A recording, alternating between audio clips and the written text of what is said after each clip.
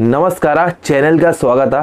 I think मैंने सही बोला हो, लेकिन मेरी जितनी भी कनाडिगास है, जो मेरे कनाडा के ऑडियंस है, उनके लिए मैं जब भी वीडियोस बनाता हूँ, मुझे दिल से खुशी होती है। आज जो पर्टिकुलर वीडियो ये मेरे लिए किसी ऑनर से कम नहीं, क्योंकि ये एक ऐसे इंसान है, ऋषभ शेट्टी, जो एक बहुत ही गज़ब के डायरेक्टर है, बहुत ही गज़ब के एक्टर है, और उनकी मूवी देखने का जो एक्सपीरियंस होता है ना, वो बहुत ही लाजवाब होता है। और मैंने उनकी बैल बॉटम मूवी देखी है, मैंने उली देवरू कंडांटे भी मूवी देखी है प्लस मैंने क्रिक पार्टी भी देखी है।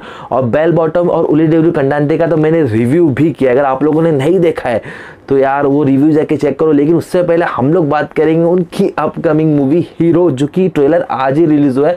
ऐसा ही नहीं कि ऋषभ शेट्टी है और इसके म्यूज़िक डायरेक्टर भी अजिनेश लोकनाथ है या इसमें प्रमोद शेट्टी है, ऐसा बिल्कुल नहीं है। इस मूवी में कंटेंट है। और आज की तारीख में जिनके पास कंटेंट है, वही किंग है। और ऋषभ शेट्टी है तो मतलब कंटेंट है। खैर, अब बात करेंगे इस मूवी के ट्रेलर की। तो ट्रेलर देखकर एक चीज़ हमें हंड्रेड परसेंट समझ में आती कि यहाँ पर प्रमोद शेट्टी एक ऐसे रावण का रोल प्ले करेंगे जिनके पास अपनी एक लंका है। और इस रावण के पास एक ऐसी सीता है जिसे राम यानी कि ऋषभ शेट्टी आएँगे बचाने के लिए। अब उसको वो किस तरह से बचाएँगे, ये इस पूरी मूवी का कॉन्सेप्ट होने वाला है। लेकिन इस बीच ऑडियंस को suspense thrill comedy, bloodshed और ऐसी बहुत सारी चीज़ें देखने को मिलेगी जो सिर्फ़ ऋषभ शेट्टी की मूवीज़ में ही देखने को मिलता है।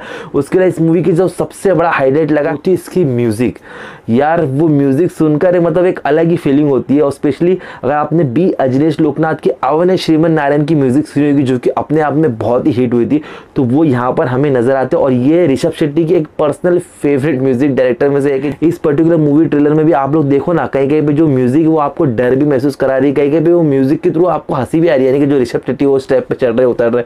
मतलब ये जो चीज़ें छोटी छोटी चीज़ें होती है ना वो मूवी को अलग लेवल पे लेके जाती है। और मैं आपकी चीज़ बता दूँ कि ऋषभ शेट्टी इतना ब्रिलियंट है कि भले वो मूवी के डायरेक्टर हो या ना हो लेकिन उनका काम आप साफ़ समझ जाते हो कि यार यहाँ पर कुछ ना कुछ भाई इस बंदे ने भी क्रिएटिविटी दिखाई जो आप लोग इस ट्रेलर में फील कर पाते हो। उसके अलावा प्रमोद शेट्टी की बात करूँगा तो यार बहुत ही गजब का रोल उनको मिला है। वो एक ऐसे रावण के रोल में नज़र आएँगे जो मतलब उनसे बेटर मेरे ख्याल से कोई नहीं प्ले कर सकता क्योंकि ए में मैंने उनका काम देखा है और वाकई में एक बोलूँगा कि एक इफ़ेक्ट कास्टिंग की है उन्होंने इस पर्टिकुलर रोल के लिए। इसके अलावा अगेन 2021 में ये एक मस्ट अवेटेड मूवी होने वाली है एटलीस्ट मेरे लिए और मुझे इस मूवी के बारे में कुछ भी नहीं मालूम था। लेकिन जैसे आज मेरे एक सब्सक्राइबर है, उनका नाम मुझे अभी याद नहीं आ रहा। है उनके, उनसे मुझे पता चला कि भाई इसका ट्रेलर आया। मैं ट्रेलर देखकर मेरे होश उड़ गया भाई। मैं तो वेट ही नहीं कर रहा कि मूवी कब रिलीज़ होती है। और आप मेरे रिव्यूज़ पर मत जाया करो। आप लोग खुद जाओ ट्रेलर देखो, मैं लिंक मेरे डिस्क्रिप्शन में दे दूँगा। आप ट्रेलर देखने के बाद खुद बता देना कि ये ट्रेलर में दम है या नहीं, ये मूवी में दम है या नहीं। यहाँ पर फेकम फाकी नहीं चलती है। यहाँ पर जो ऑनेस्ट चीज़ है, वही बताता हूँ मैं। और मेरे थ्रू अगर ऋषभ शेट्टी हो या कोई भी, ये बहुत मामूली सा चैनल है, लेकिन अगर मेरे थ्रू एक अच्छी चीज़ का प्रमोशन होता है स्पेशली जो हिंदी ऑडियंस में तो उसमें बुरा कुछ भी नहीं है।